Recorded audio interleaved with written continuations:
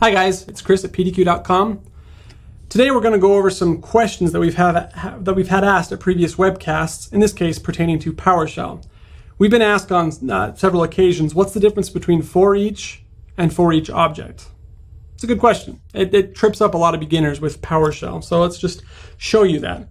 Let's first create uh, a variable.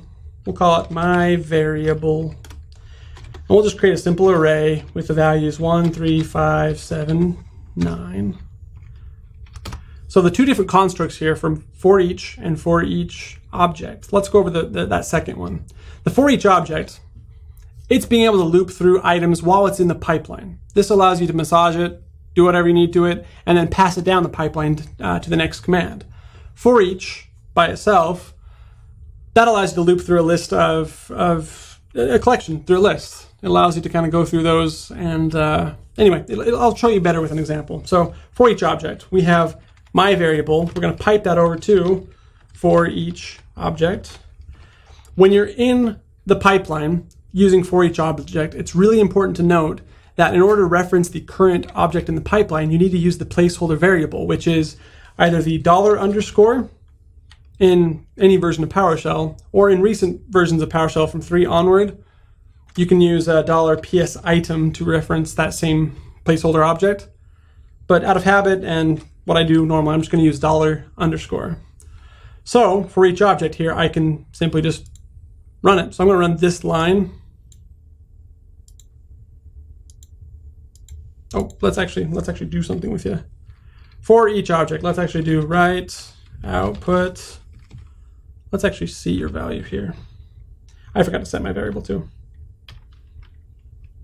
So there they are. Here, here is my value.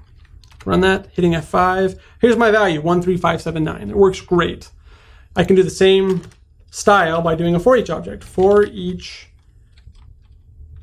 well, here's the general construct, what it looks like. And then in the for each, within the parentheses, you define what you want to call the internal variable. So I'm fond of the term guy. So for each guy in my variable, that's going to say for each object that's in there, let's do some stuff. So in this case, we'll do what we did before. Here is my value in the for each loop guy. And then we'll just run just that. Here's my value in the for each loop. They're very similar in how they work, but this does allow a little extra flexibility. I tend to favor the for each loop, this, this second one here that I have highlighted, simply because it allows you to spell out the name of a variable, in this case guy, for each guy, and then I can use that within my script. The for each object, you can break onto different lines, similar to the for each loop here, but you just got to remember that you need to use the dollar underscore or the dollar PS item unless you decide to change it. New variable equals dollar underscore and then I can use this new variable in place of my dollar underscore here. And then run that. So there's a lot of flexibility here. There is one important kind of advanced uh, mention for, for each object that I will show you. I hit the dash button to show the parameters for the for each object commandlet there is a begin, a process, and an end. You can actually have separate script blocks, three separate script blocks.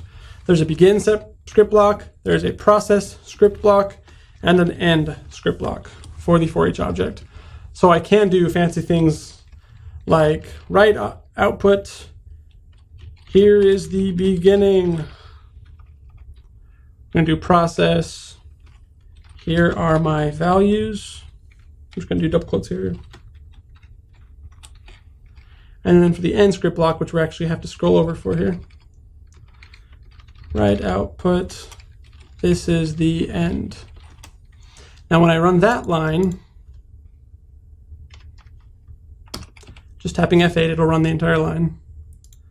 You'll see that there's the beginning, there's the middle, and there's the end. So if you do like to do that, that the begin and the end processing you're going to want to use for each object, but that's really the main difference between the two. So if you have any questions, you know, feel free to reach out to us and we'll do our best to answer them. Thanks for watching. I'm Chris at pdq.com.